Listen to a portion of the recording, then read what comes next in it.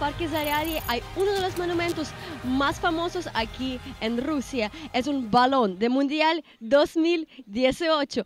Mucha gente quiere tomar foto aquí. Claro que aquí hay muchos hinchas de todas partes del mundo. Todos se gritan, toman fotos. Mira, por allá hay hinchas de Brasil. También vamos a buscar si hay alguien de Colombia. Pero así es, muchachos. Y muchos me preguntan que si loco por mi selección.